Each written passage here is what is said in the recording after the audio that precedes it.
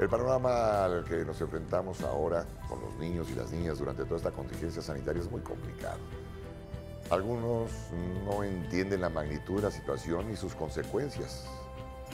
Y es por eso que hoy más que nunca merece pasar un día de Reyes inolvidable. Hay muchos niños chiquitines que eh, de repente ya no regresaron a la escuela, no volvieron. Exacto. Acabó un ciclo escolar y no.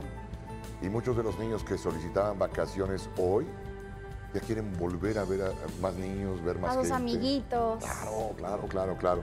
Jugar. Alguien estaba platicando el fin de semana que si quedaría para siempre ya las clases en línea. No se puede, no se puede, no se puede. Lo estamos haciendo, pero no se puede. Porque parte del aprendizaje es la convivencia con otros seres humanos.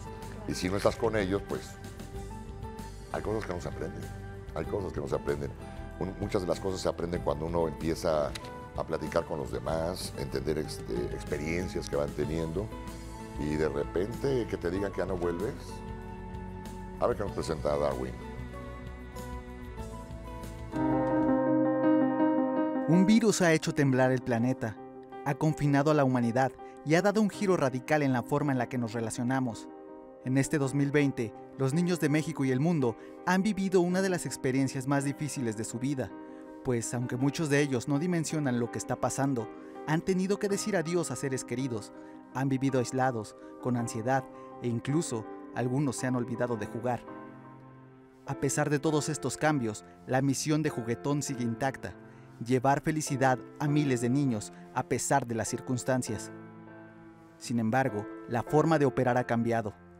Juguetón se ha adaptado a la realidad, por eso se han emprendido acciones para lograr una vez más el objetivo, incluso en medio de la pandemia. El contenedor central tiene las siguientes características. La recepción de juguetes se realiza sin contacto. Se mantiene constante sanitización. Se respetarán las medidas de sana distancia. El uso de cubrebocas será obligatorio y se mantendrá un aforo controlado.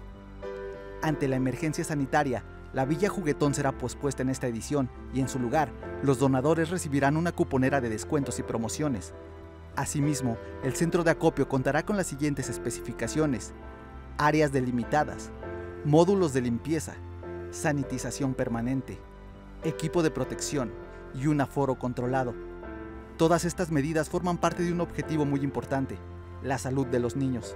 Sin duda no ha sido fácil, pero la misión de Juguetón sigue en pie, llevar esperanza a cada uno de ellos, pues creemos firmemente que hoy más que nunca merecen sonreír, y tú puedes ser parte de este cambio, convirtiéndote en un rey mago de la siguiente manera, llevando un juguete a TV Azteca, recaudación digital, comprando un juguete en tiendajuguetón.com.mx, aportaciones económicas a través de ventanillas, cajeros automáticos y el portal de Banco Azteca o a través del sitio oficial de juguetón.com.mx.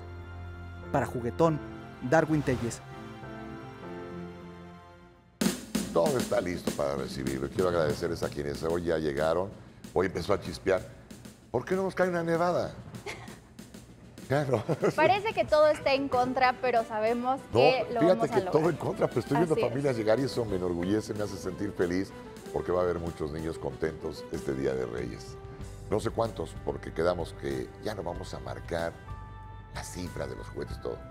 Vamos por millones de sonrisas.